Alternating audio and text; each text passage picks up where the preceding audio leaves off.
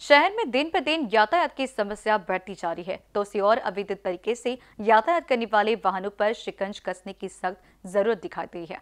नागपुर शहर के वाड़े हिंगना रोड स्थित महिंद्रा कंपनी का बहुत बड़ा कारोबार है। यहाँ ट्रैक्टर निर्माण होते हैं। ट्रैक्टरों की निर्मित के बाद यह ट्रैक्टर वाड़ी नागलवाड़ी रोड के स्टॉक यार्ड में लाए जाते हैं, जिस तरह यह ट्रैक्टर ट्रेलरों में लाद कर लाते हैं। यह यातायात को खतरा है। इस बात पर प्रशासन को काफ़ी बार अवगत कराया गया है। कई बार साल 2020 से अवगत कराया गया, परंतु आरटीओ तथा यातायात विभाग के अधिकारी इस पर क्यों चुप्पी साधे हुए बैठे हैं, यह बहुत बड़ा प्रश्न निर्माण हो रहा है।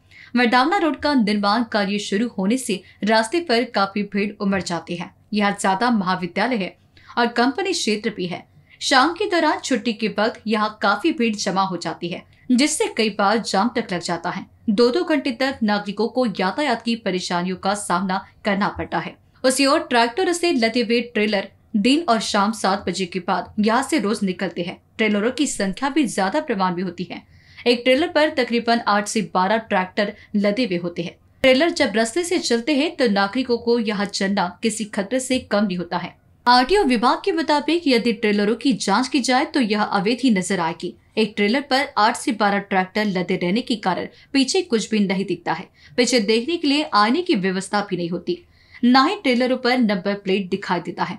ट्रेलर पर ट्रैक्टर लदे होते हैं तो सामने वाले व्यक्ति को आगे का नहीं दिखता और ट्रेलर के ड्राइवर को पीछे का कुछ भी नज़र नहीं आता, जिससे दुर्घटनाएँ होती हैं। आरटीओ एवं एमआरटीसी यातायात विभाग द्वारा शहर में पॉइंट पर यातायात पुलिसकर्मी खड़े कर आम जनता से हेलमेट और अन्य का चलान बनाने में व्यस्त है तो दूसरी ओर आरटीओ और यातायात विभाग के नाक के नीचे से अवैध यातायात हो रहा है इस पर प्रशासन का ध्यान नहीं है, ये सबसे बड़ी त्रासदी है हमारे संवाददाता ने रात 10 बजे ट्रेलरों का पीछा किया तो इस दौरान दिखाई दिया कि महिंद्रा कंपनी से ट्रेलर निकलते हैं।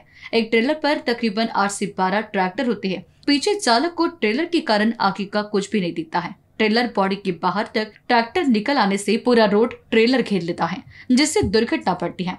कुछ ट्रेलर पर नंबर साफ़ दिखाई नहीं देते हैं। चालक को ट्रैक्टरों के कारण पीछे कुछ साफ़ दिखाई नहीं देता है। एक तरफ़ केंद्रीय मंत्री नितिन गडकरी तथा महाराष्ट्र के उप मुख्यमंत्री देवेंद्र फडणवीस के कार्यो की सराहनीय हो रही है तो वही दूसरी ओर शहर में इस तरह का अवैध वातावरण निर्माण होना यातायात के लिए काफ़ी गंभीर दिखाई दे रहा है। इस पर अंकुश लगाकर तुरंत अवैध यातायात को बंद करने की मांग नागरिकों द्वारा हो रही है। एनबीसी न्यूज़ के लिए वाड़ी से संवाददाता की रिपोर्ट।